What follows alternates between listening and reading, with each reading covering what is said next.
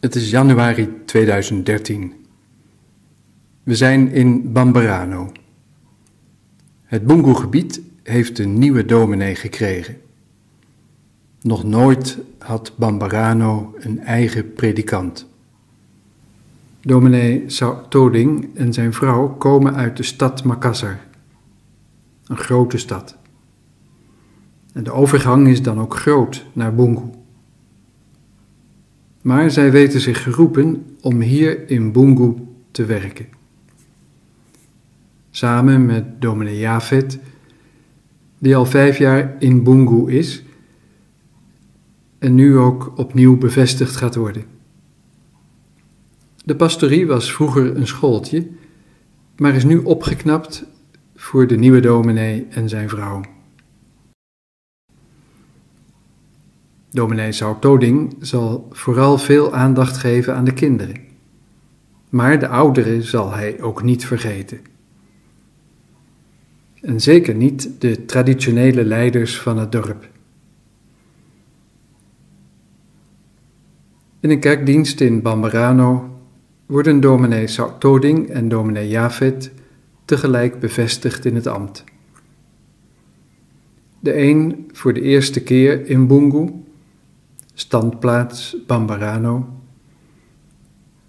En de ander voor de tweede periode van vijf jaar met standplaats Pelontu. Enkele leden van het synodebestuur zijn speciaal uit Mamassa gekomen voor de bevestiging. De voorzitter, dominee Henki, leidt de dienst. Ook een delegatie uit Nederland is aanwezig. Drie werkbezoekers de predikanten Hilbus, Draaier en Everts. En natuurlijk ook mijn vrouw en ik. We gaan nu naar de kerk voor de bevestiging.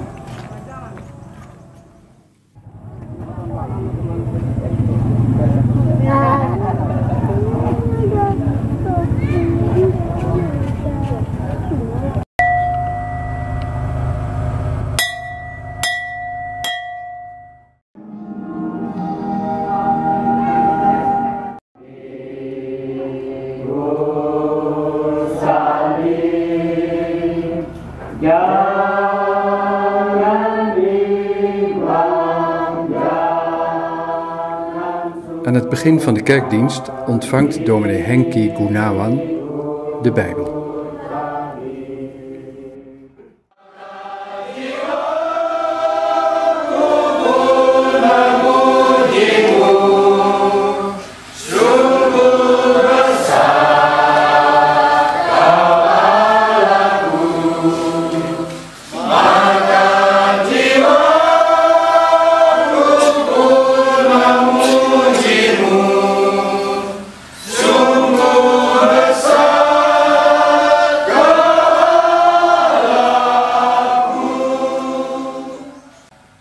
In de kerkdienst staat het woord van God centraal. Zo zal het ook zijn in de dienst van deze twee zendelingen in Bungu.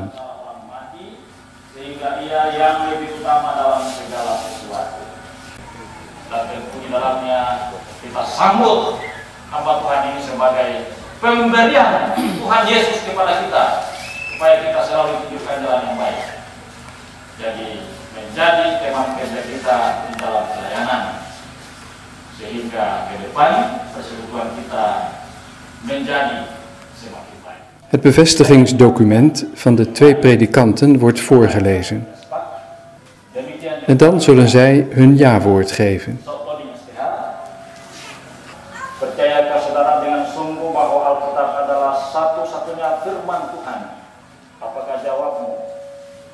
Met overtuiging en geloof beloof ik.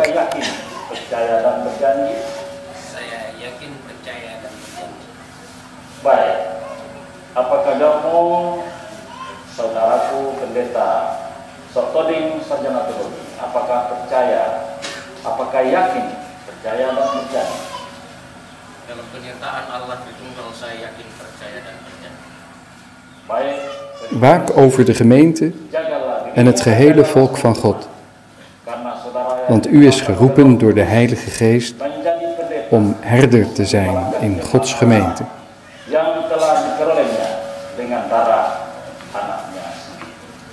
Aku meneguhkan engkau dalam nama Allah Bapa, Allah Anak dan Allah Roh.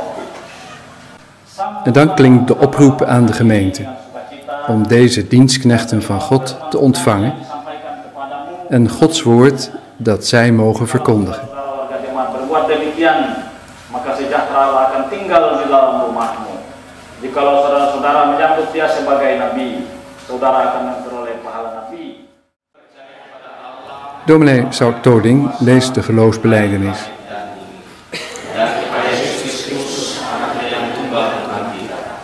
waarna hij de zegen aan de gemeente mag geven. Yesus Amin Met enthousiasme heeft dominee Sautoding al kennis gemaakt met de gemeenteleden. En hij zingt hier samen met een groep gemeenteleden in de Bungu-taal. Het maken van een foto besluit de bijeenkomst in de kerk. Een half jaar later. Het is nu juli 2013. We zijn weer in het Bungu-gebied. We gaan naar een klein afgelegen dorpje in de bergen, Nagaya.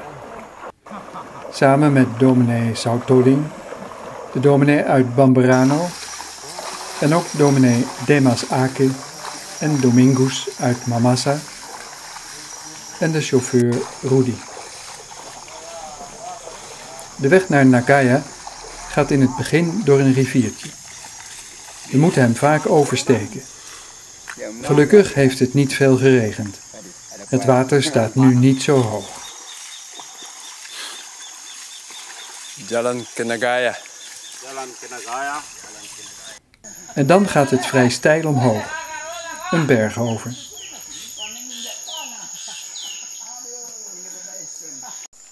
Bovenop de berg rusten we uit.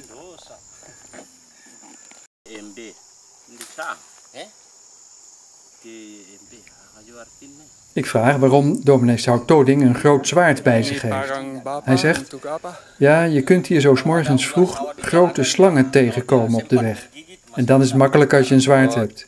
Ik zeg, oh, het is toch niet voor de kansel straks? Nee, zegt hij, dan heb ik genoeg aan de Bijbel. En dan zien we Nagaya. Een klein dorpje, nog erg geïsoleerd in een dal tussen de bergen. Ze hebben daar nog de ruimte. Ze leven vooral van hun tuinen, de opbrengst van cacao en koffie en producten uit het bos.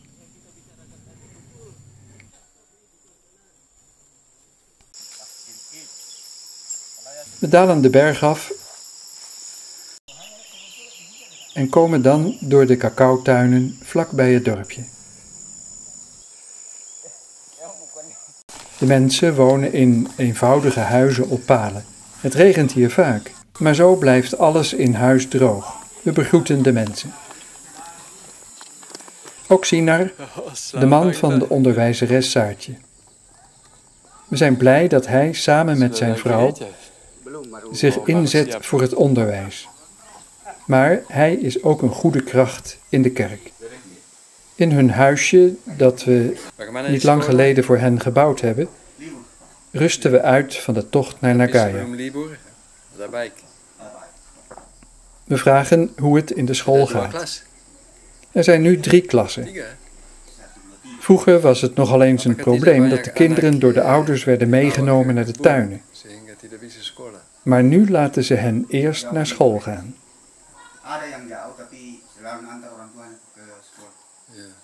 Het is vandaag zondag. We gaan naar de kerk. Dominee Sautoding zal voorgaan in de dienst. Maar eerst geeft hij speciale aandacht voor de kinderen.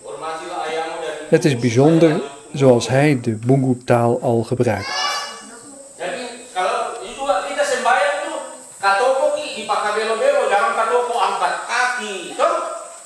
Ondertussen komen de mensen van het dorp langzamerhand naar de kerk. Baby's gaan gewoon mee.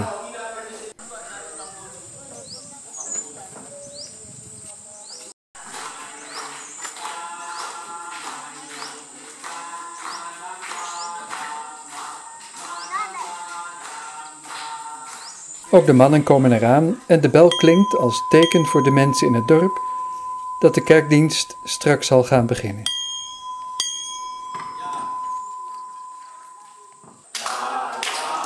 Dominee Saut Toding zingt nog een lied met de kinderen. Ze zingen dat we in de Heer broeders en zusters zijn, waar we ook vandaan komen.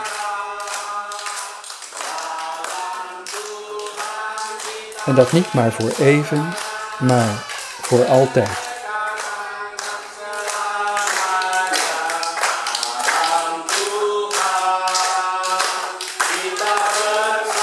Sartoding wijst dan naar ons. Kijk, dat kunnen we vandaag goed merken. Er zijn mensen uit Mawassa en ook uit Belanda, uit Nederland. We zijn allen broeders en zusters. Na het gebed mogen de kinderen alvast naar buiten en zal de kerkdienst gaan beginnen.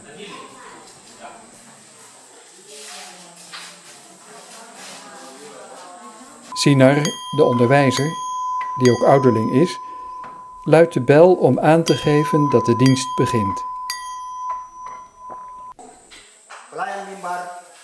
Een paar mededelingen.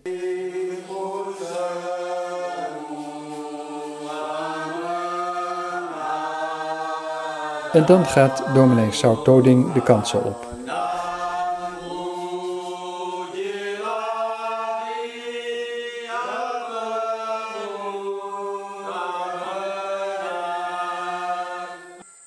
Hij leest dat liefde veel zonde bedekt, vanwege het werk van Jezus Christus.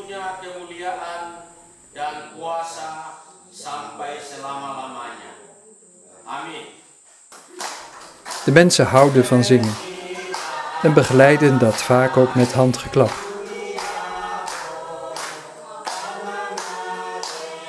Wiegjes zijn hier niet voor de baby's, maar er zijn wel andere oplossingen.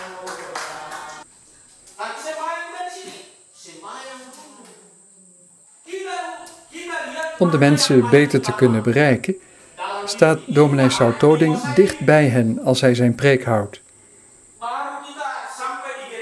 Het gaat over het volgen van Jezus, de levenswandel die dat met zich meebrengt.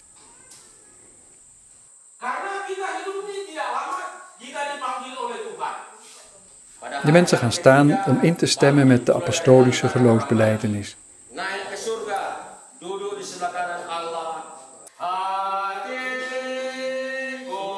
Dan wordt de collecte gehouden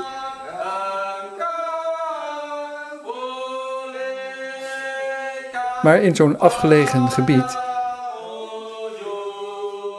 is vaak weinig geld in omloop. En dat merk je ook wel in de opbrengst. Maar het begin is er.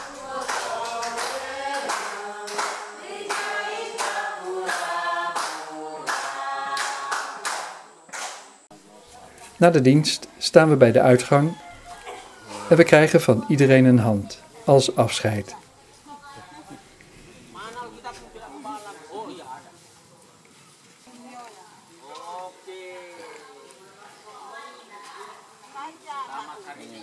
Omdat we ook iets van het schooltje willen laten zien, het schooltje waar we hier niet zo lang geleden mee begonnen zijn, springen we even terug in de tijd naar ons vorige bezoek begin dit jaar in januari.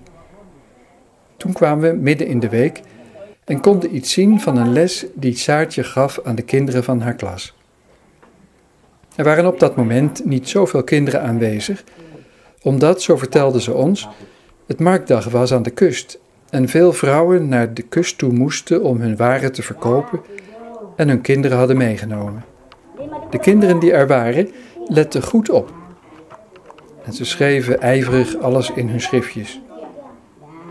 Gelukkig zijn de kinderen nu ingeschreven bij een basisschool aan de kust. En is de school nu voorzien van alle nodige boeken en schriften.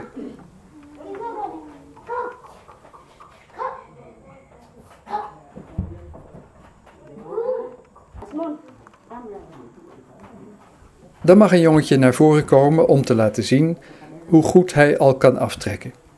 Ja, 7 min 6 is 1.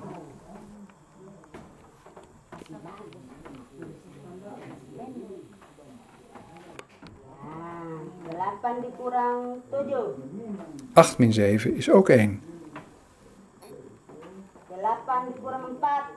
En acht min vier is vier. Dat is mooi. Nog even bij elkaar voor het schooltje voor de foto. Samen met Sinar en Saartje.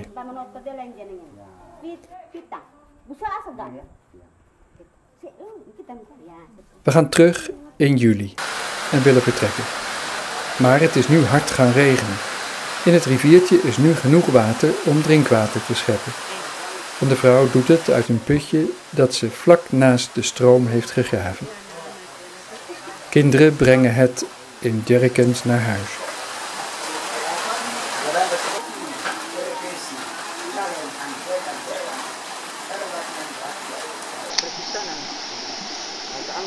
Dan vertrekken we. Een gladde tocht door de regen over de berg. De rivier aan de andere kant is flink gezwollen. De stenen onder water zijn erg glad.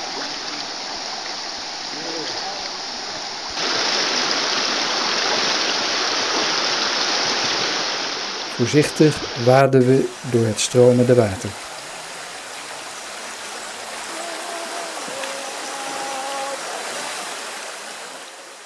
Voordat we weer bij de auto komen, spoelen we ons een beetje af. Lekker fris.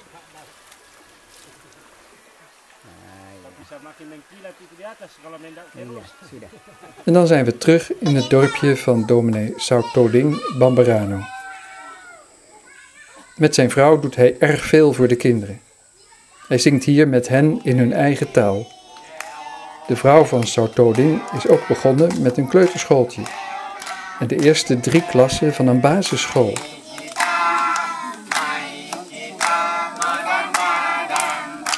Met deze mensen, deze dominee en zijn vrouw, hebben we goede hoop dat onder Gods zegen het zendingswerk van de Toradja-kerk daar in dat verre Bungu vrucht zal dragen.